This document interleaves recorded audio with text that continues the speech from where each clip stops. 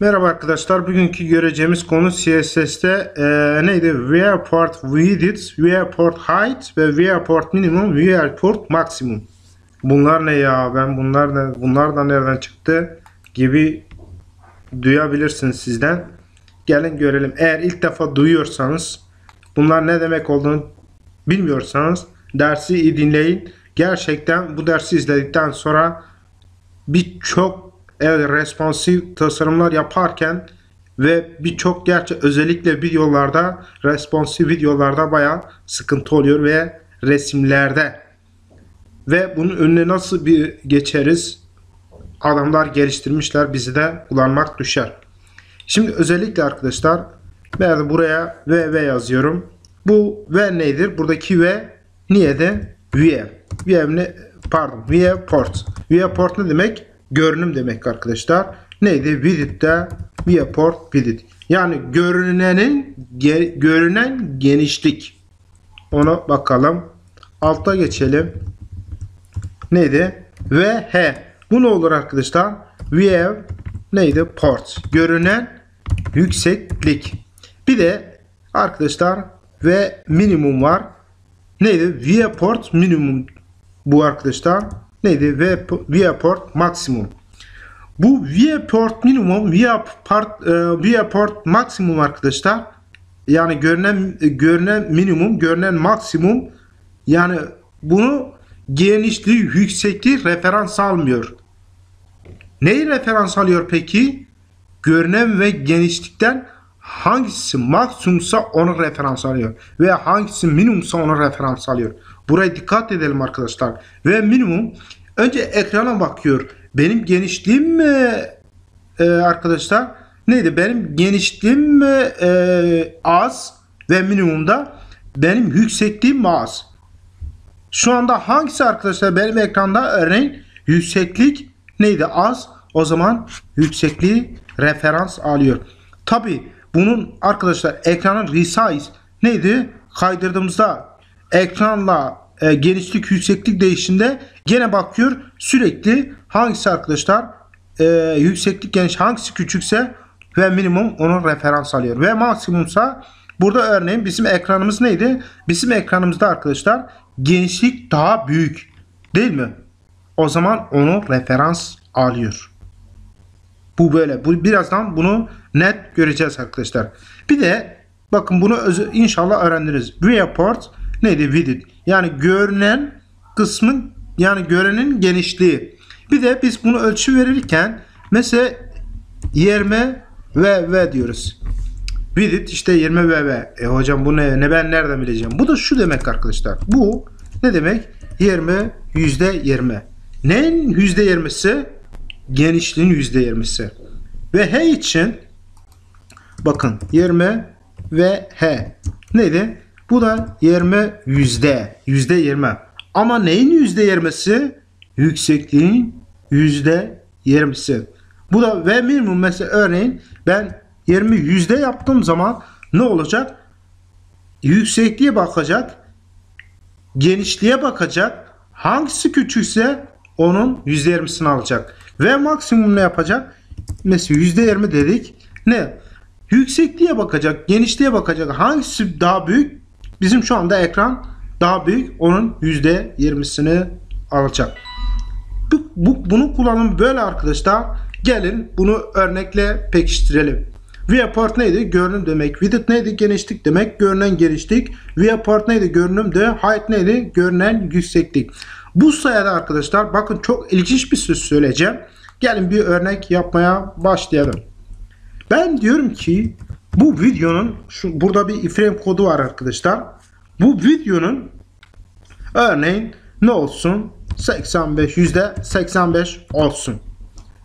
Şimdi yavaş yavaş tekniklerimizi arkadaşlar pekiştirmek amacı eski yöntemlerle yani kullanalım. Bu aynı zamanda ne demek arkadaşlar? Bu aynı zamanda neydi? Görünen neydi? Görünen neydi? Görünen genişliğin neydi? Görünen genişliğin %85'i kadar. Hiçbir fark yok arkadaşlar. Böyle. Hiçbir fark olmadığını görebileceğiz. Aa, sayfada geç yükleniyor. Babam geç. Bak hiçbir fark yok. Şimdi çok ilginç bir şey yapacağım arkadaşlar. Normalde bakın bunu CSS ile yapamayız. Ben yükseklik diyorum. Benim bu videonun yüksekliği neydi? Yatay genişliğin %50'si kadar. Bakın burada neydi? Viewport width. Width bizim genişlik. Ne diyor? Yüksekliği. Normalde biz bunu ancak JavaScript ile yapabiliyoruz değil mi? Normalde sağ, sağ, sade CSS yöntemleriyle bildiğimiz bir yöntem yok. Şimdi bakalım arkadaşlar. Benim videomun yüksekliği genişliğin %50'si kadar olacak. Bakın sayfamızı yenileyelim arkadaşlar. Bunu net göreceğiz. Biraz e, bilgisayarımız geç çalışıyor. Bunu bakın. Şimdi sayfamızı bir küçültelim arkadaşlar. Bir dakika sebep burada bir hatam var. Evet sebep arkadaşlar. Ee, bir dakika. Bir dakika. Evet. Şöyle bir şey yapalım arkadaşlar. Biz yüksekliği burada arkadaşlar biz yüksekliği ne verdik? Yüksekliği ee, genişliğin %50'si kadar verdik. Ben onu vermek istemiyorum. Bir dakika. Şunu örneğin yüksekliği %50'si kadar verelim. Sayfamızı bir elleyelim. Burada bir mantık mantık hatası yaptık.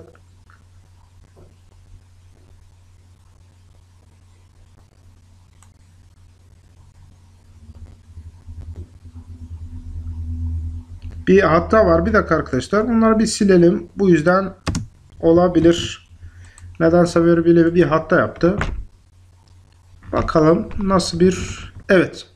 Problemi çözdük. Problem de arkadaşlar buradaki küçük bir hatadan kaynaklanıyordu.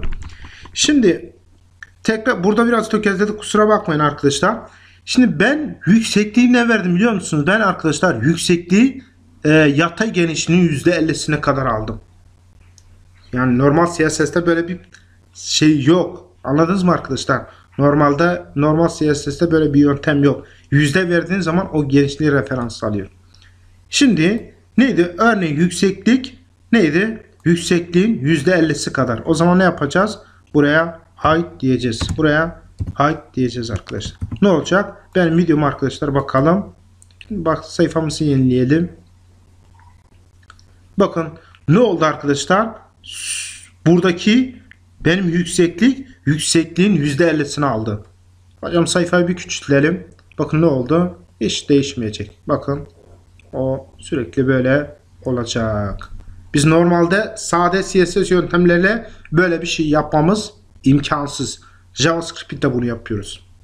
Ve ben, ben ne diyorum arkadaşlar? Bir de width diyorum. Örneğin benim 50 diyorum görünen geniş görünen genişlik genişliğin %50'si kadar. Bu videonun e, bu iframe'in genişliği görünen genişliğin %50'si kadar.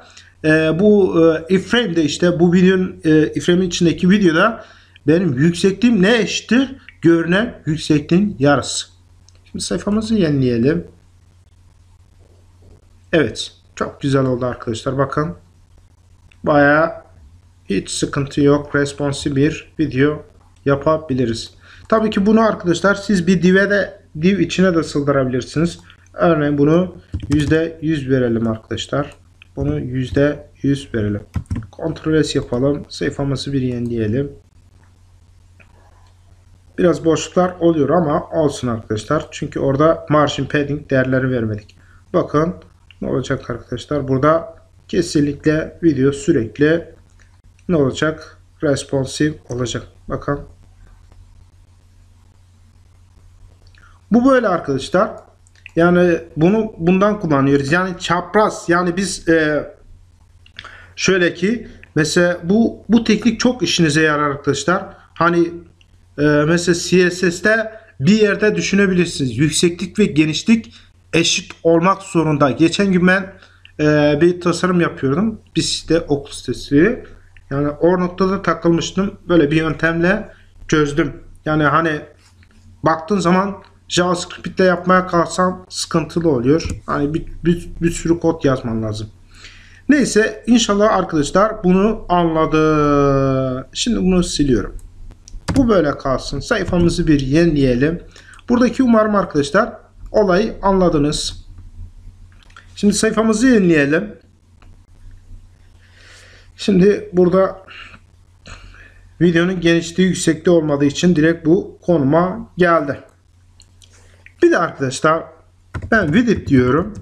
Genişliği örneğin 50 ve minimum olsun. Ve minimum olsun.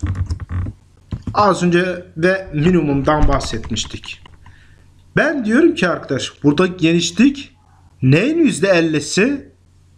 Ekranda genişlik, yükseklik hangisi az ise minimum ise burada benim ekranım neydi? Geniş e, e, yükseklik daha az. O zaman ne olacak? Yüksekliği referans alacak. Bakalım arkadaşlar sayfamızı bir yenileyelim. Biraz geç çalışıyor haliyle yani internetimizden dolayı arkadaşlar biraz geç çalışıyor diyebiliriz. Şimdi burada neydi? Bir dakika. Benim genişliğim evet sayfanın e, yüksekliğinin %50'si kadar olacak. Evet şu anda nereden baksam o kadar. Bir bakalım arkadaşlar. Bir e, şöyle yapalım. Bir bunu böyle kaydıralım. Bakın arkadaşlar değişti. Bakın buradaki e, ne anlama geliyor? Gelin onu açıklayalım arkadaşlar. Burada bakın burada arkadaşlar bu ne oldu? Yükseklik neydi? Minimum oldu. Burada ne oldu? Genişlik minimum olur. Yani bunu iyi anlamamız lazım arkadaşlar. Burada örneğin başka ne yapabiliriz? Yani ya da yüksekliği arkadaşlar ne olsun ve maksimum yani ne olacak? Görünen hangisi yüksekse genişlik mi yükseklik hangisi yüksekse arkadaşlar onun %50'sini al diyelim. Sayfamızı bir yenileyelim. Ne oldu arkadaşlar? Bakın şu anda benim yüksekliğim neydi? Daha maksimum, daha fazla ne oldu? Onun yarısını aldı. Şimdi sayfayı ne yapalım arkadaşlar? Sayfayı büyütelim, büyütelim. Şu anda ne oldu? Benim genişliğim maksimum oldu. Ne oldu? Onun yarısını aldı. Yani ve minimum ve maksimum da bu arkadaşlar. Yani bu teknik gerçekten bayağı kullanışlı onu yaptırabilirsiniz. Yani şöyle de yapabilirsiniz.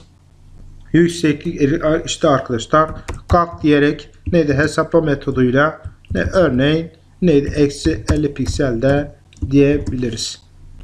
Bir bakalım sayfamızı bir yenileyelim arkadaşlar. Herhangi bir hata olacak mı? Bir hata meydana geldi. Çünkü diyor ki arkadaşlar burada neyi kalkla kullanamayacağımızı en azından öğrenmiş olduk. Neydi? 50 ve max.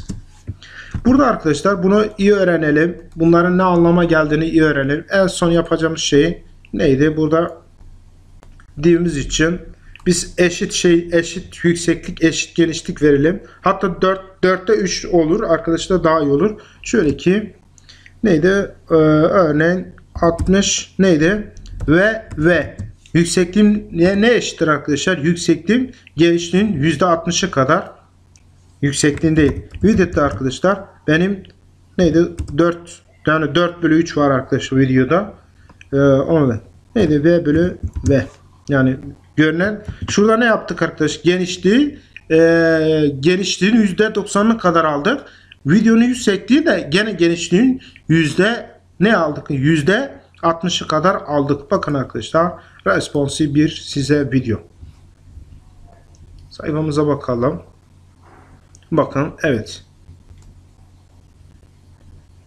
Bakın asla ne olacak? Bozulmayacak. Göreceksiniz. Bunu başka yöntemle yapamazsınız arkadaşlar. Bu responsive videoyu ben size söyleyeyim. Deneyebilirsiniz. Çeşitli yöntemler deneyebilirsiniz. Ama bu yöntem çok işinize yarayacak. Yani biraz e, yorgunum arkadaşlar. Gerçekten sınav da var. Yani gerçekten 5'te 6'da yatıyorum. Bazen 7'de kalkıyorum. Bugün geç kalktım. Bugün tatil hem çalışmıyorum. Sizlerle böyle bir ders paylaşayım dedim. Biraz tökezledik ama olsun arkadaşlar. Gerçekten şu anda yorgunum. Kahvaltı bile yapmadım. Dersin başına geçtim. Tarihi tekrar ediyoruz arkadaşlar. Bakalım. Neyse. Pazar günü arkadaşlar inşallah işinizden KPSS girecek varsa herkese başarılar. Bu dersi arkadaşlar anlamadığınız yer olursa altta yorum yazsanız ben cevaplar mutlaka. Ama bu yöntemi arkadaşlar mutlaka online ve çok işinize yarayacak. Eğer daha önce seyretmediyseniz gerçekten e, iyi ki bu videoyu seyrettim diyeceksin. Bakın responsive video. Yani responsive video arkadaşlar yapmak zordu. Bu teknikle çok basit sizlere söyleyebilirim. Ben ne dedi? Genişlik, genişliğin %90 kadar yükseklik, yani genişliğin %60'ı kadar. Bunu he yapsaydık ne olacaktı? Yüksekliğin %60'ı kadar. Bu ders burada bir bilsin arkadaşlar. Hepiniz kendinize iyi bakınız.